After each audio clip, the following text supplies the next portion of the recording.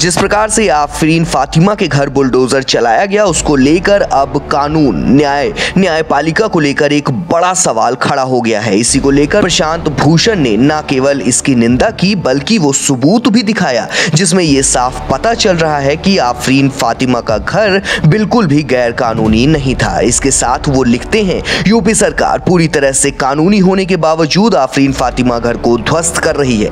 UP में अब कानून का राज नहीं बचा है गुंडा प्रदेश बन गया है। Hashtag stand with Afreen Fatima. इतना ही नहीं, इसके बाद हम आपको ये भी बताएँगे कि आखिर किस तरीके से उत्तर प्रदेश पुलिस को किसी का घर तोड़ने में मज़ा कितना आ रहा। इसी को लेकर डिप्टी एसपी अनिरुद्धा सिंह और जानी मानी पत्रकार आशीष कुमार सिंह को लेकर एक बड़ी बहस हो गई। बड़ी बहस में आशीष कुमार सिंह सबसे पहले लिखते हैं हैवी पेनल्टी लगा दीजिए। अगर नोटिस भी नहीं देना चाहते, कई और तरीके हो सकते हैं। सख्त कार्रवाई के। घरों को तोड़ना प्रथम दृष्टि से अमानवीय लगता है। कृपया पुनर्विचार करें। इसको लेकर अनिरुद्धा सिंह लिखते हैं, दूसरों की गाढ़ी कमाई की गाड़ियाँ फूकना आपको काफ़ी मानवीय लगता होगा। कानून हाथ में लेना मानवीय लगता होगा। इसके बाद इस इसके जवाब में आशीष कुमार सिंह लिखते हैं, आपने जिन लोगों को जब ठोका था तो शाम को जाकर मकान भी तोड़े थे। कुछ तो रहम रखना चाहिए।